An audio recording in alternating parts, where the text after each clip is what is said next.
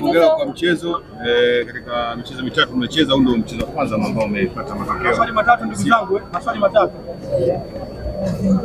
Eh, mchezo wa kwanza ambao umepata matokeo na wazungumzaji mchezo. Ah, kwanza tunapenda kumshukuru Mwenyezi Mungu kwa kuanzia salama na tena tunashukuru Mwenyezi Mungu kwa kupatia pointi tatu. Mchezo kwa rais KMC wana wana timu nzuri, wana timu bora, wachezaji wenye experience kubwa. Kwa hiyo tunashukuru Mwenyezi Mungu kwa kupata matokeo.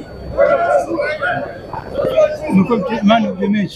Unazungumziaje? Ah, najisikia furaha kama mchezaji kwa sababu muhimu ni, ni timu kwanza kupata pointi tatu na pia na kuipambania klabu hakuna kitu kingine. Masuala ya man of the match yanatokea tu kwa mchezaji, mchezo ambavyo tunavyochukua pointi tatu.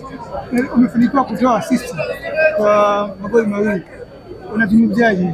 Ah, sina zaidi ya kuzungumzia zaidi ya kupata ushindi. Muhimu mwenzako akikaa katika nafasi nzuri, natakiwa umrahisishie ili afunge. Hakuna kitu chingine. Mwalimu leo alikuwa anahitaji nini zaidi? Uh, mwalimu leo alikuwa anahitaji zaidi ni matokeo. Hakuna kitu kingine, kwa sababu mchezo wa mwanzo, mchezo uliopita tumedraw, mchezo huu ulikuwa unahitaji ushindi. Kwa hiyo tumepata ushindi alhamdulillah.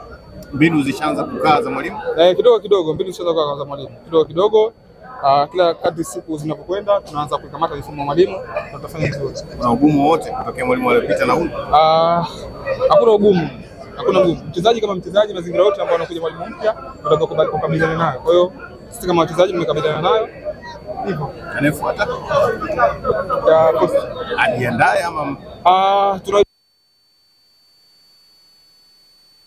tuna kupambana